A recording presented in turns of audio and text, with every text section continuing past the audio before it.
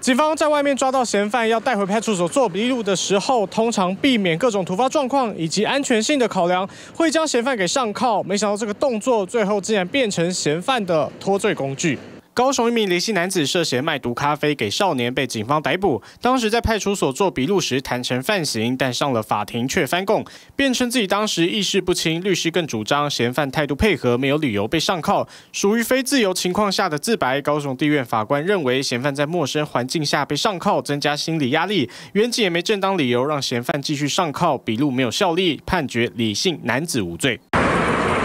这个结果让当初做笔录的远警傻眼，检方更是无法接受，表示警方在制作笔录时有全程录音录影，没有用不当的方式得到嫌犯的自白，在收到判决书之后已经提起上诉。本署检察官认为原判决错误适用法令，不当扩张刑事诉讼法及相关规定，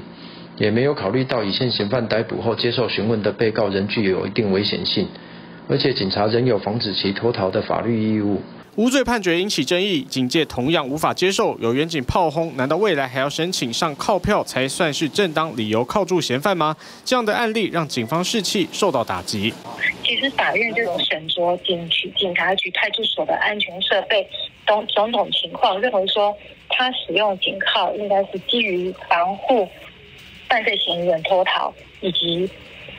执行远警的安全等等考量。然后所使用的措施，但应该不至于会成为不正的询问的方式。警政署也回应，如果嫌犯脱逃，原警得背上刑法公务员纵放人犯罪，因此从逮捕到移送都得严加戒备。警察恐怕没想过，逮捕嫌犯依法上铐，辛苦打击犯罪，最后放走犯人的会是法官。TVBS 新闻综合报道。